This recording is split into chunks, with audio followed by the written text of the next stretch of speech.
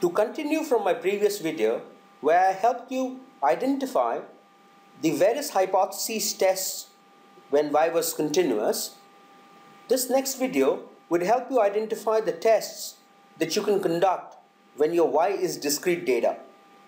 Should your y be discrete data and your x a continuous variable, for instance, you are capturing quality score as pass fail, rejected or passed, or you have count of defects as your project y, while the factor is a continuous information,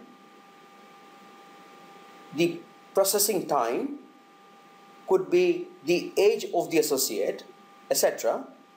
You have three tests that are possible. The first test, which is referred to as binary logistic regression or BLR.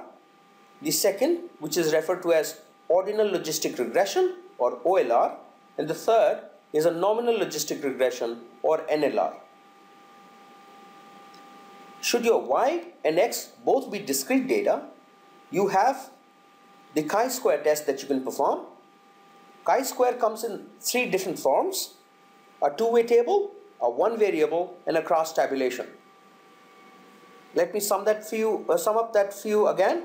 Y discrete, X continuous, three options, BLR, OLR and NLR, Y discrete, X discrete, chi-square test, two-way table, one variable and cross tabulation.